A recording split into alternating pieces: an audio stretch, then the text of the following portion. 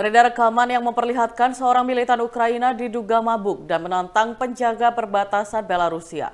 Rekamannya ramai beredar di Telegram pada Kamis 28 Juli 2022. Dalam keterangan unggahan disebutkan, seorang militan dari pertahanan perbatasan dengan granat di tangannya memutuskan untuk memprovokasi penjaga perbatasan Belarusia untuk melepaskan tembakan. Meskipun diperingatkan berulang kali bahwa ia sedang direkam, pria itu tidak menghentikan tindakan provokatifnya. Beruntung, situasi menegangkan itu segera berakhir setelah militan Ukraina ini diselamatkan oleh rekan-rekannya dan membawanya pergi. Sementara itu, pasukan Rusia berhasil merebut pembangkit listrik terbesar kedua di Ukraina dan sedang melakukan pengiriman besar-besaran pasukan ke tiga wilayah di Ukraina Selatan.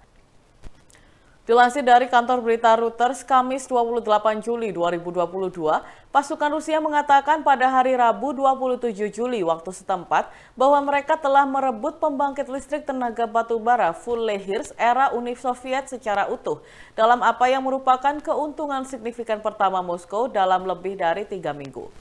Oleksiy Arestovic, penasihat Presiden Ukraina Volodymyr Zelensky, mengonfirmasi perebutan pembangkit listrik di wilayah Donetsk, Ukraina Timur tersebut, tetapi mengatakan itu hanya keuntungan taktis kecil bagi Rusia.